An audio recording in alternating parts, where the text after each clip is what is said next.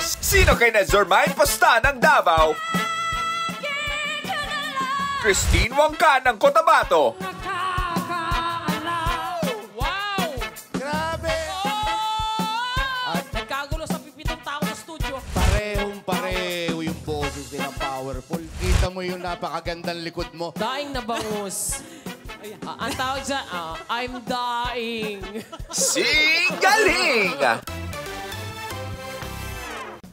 Don't forget to like and follow our social media accounts Please subscribe and hit the notification bell for updates, okay? Seeing you there! Singaling!